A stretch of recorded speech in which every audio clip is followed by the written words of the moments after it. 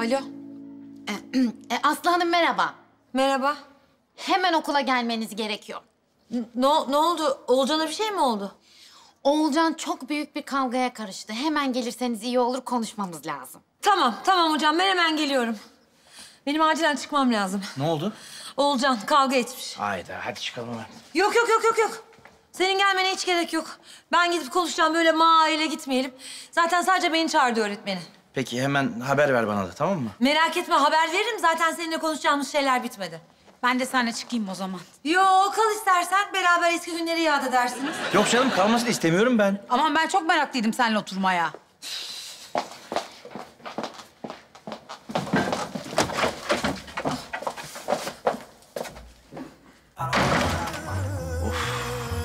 Yandım ben bittim ben. Okullar tatil. Tatil mi? Online eğitim bitti mi amirim? İstersen yukarı çıkalım. Damla kızımızın canı sıkılmasın. Oğlum bütün kapıları aldım ya onun için öyle dedim. Senin aklın nerede Hulusi? Kerami. 14 kural. Tamam onu biliyorum. Mehmet Ali'lerin mutfak lavabosu su akıtıyor sanırım. Nereden biliyorsun? E bizim e, mutfağın tavanı ıslanmış yani. Ben bir yukarı çıksam. Hayır akıtırsa devamlı. E, badana bozulur kabarır yani. O yüzden dedim. İş çıkmasın başımıza. Otur oturduğun yerde Arife ya sen de şimdi. Amirim ben boya badana işinden anlarım. Bir çıkayım ben bir bakayım istersen. Sen dur şimdi sen dur. Çok mu ıslanmış Arife? Yani bayağı yavaş yavaş ıslanıyor, büyüyor yani. Şimdiden biz önlemimizi alalım da sonra damlaya damlaya göl olur maazallah. Allah korusun amirim. Kış günü boya badana işi de hiç çekilmez ya. Yani koku çıksın diye kapıyı pencereyi açsan rüzgardan hasta olursun. E açmasan bu koku nasıl geçecek? Ya bir çıkıp bakalım derim ben. Haklısın bakalım. İyi ara o zaman bakalım. Telefon etmeden çıkmayalım. Malum 14 kural. Tabii tabii.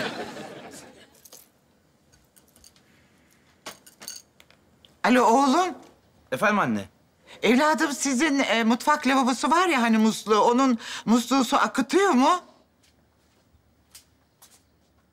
Yok anne. Ha anladım akıtıyor demek. Akıtmıyor anne. Hmm, madem akıtıyor onu halletmek lazım. Müsait misin? Gel Aydan gel.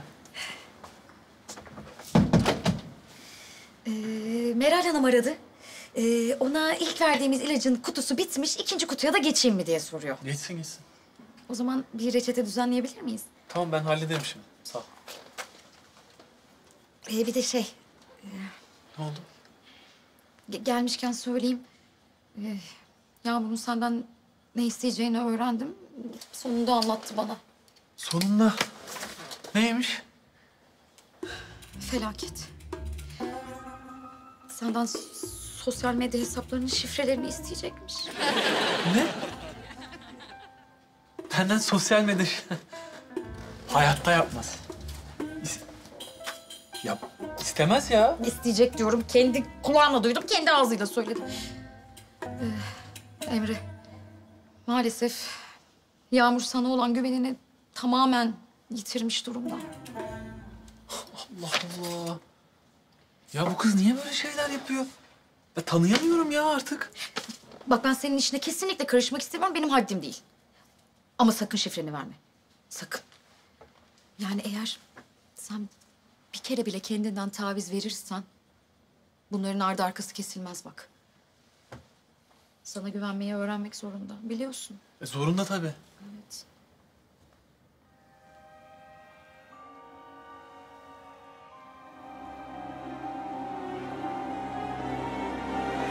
Tamam çocuğum. Sen şey etme ben şimdi gelir hallederim. Sen işine bak. Ne olmuş Arife? Daha ne olsun? Daha ne olsun Kerem? Ne olmuş yenge musluk mu patlamış? Ben hemen çıkıp halledeyim. Evet, ben biliyorum da bir şey söylüyorum, öyle değil mi? Musluk patlamış işte.